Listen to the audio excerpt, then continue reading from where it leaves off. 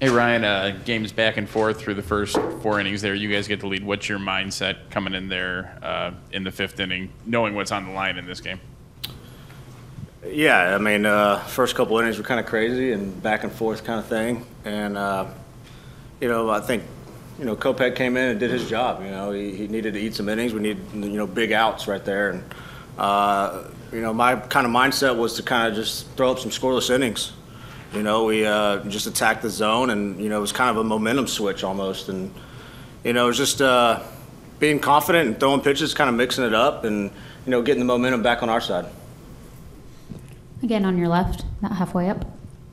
Ryan, there were some big expectations for this bullpen in the preseason. Obviously, you joined in the middle of the year, but what are your guys' expectations? Uh, you know, now that it's the postseason, or even on a nightly basis, for what you guys can do?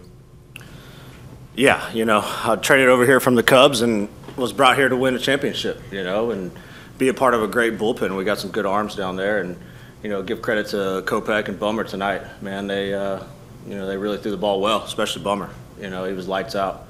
Um, that was a big help. So, uh, you know, all I can say really is it was a lot of fun. I, I, it's been a while since I've had that playoff atmosphere, and um, you know, the the stadium was rocking. You know, obviously it's a it's a different game here at our field. You know, you play at Minute Maid, and you know they're they're doing something over there that's a little different. You know, it shows you how many uh, swings and misses they had tonight compared to at Minute Maid. So, uh, you know, that's why you have home field advantage. And you know, tomorrow we look tomorrow, and you know we got another home field advantage. So we're ready to go.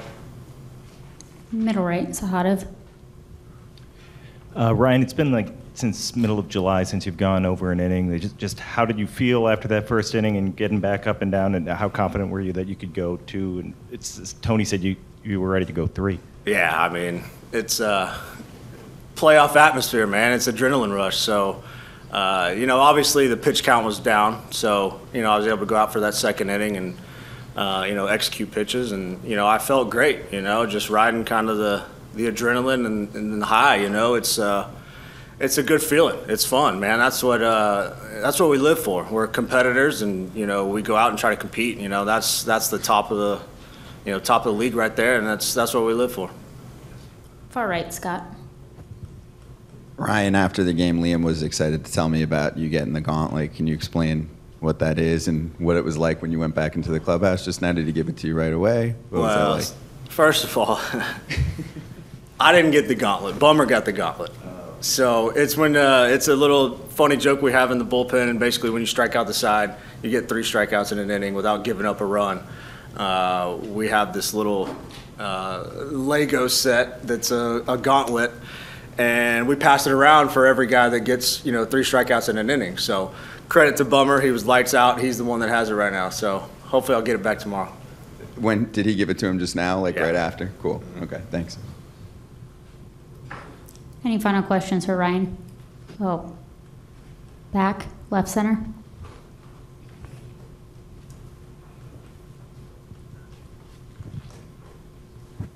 Hey, Ryan, I was wondering if you could uh, uh, expand upon what you were saying earlier. They struck out 16 times in the previous two games, but then 16 times tonight. Do you think something else is going on still, or is that just like a hunch given the past?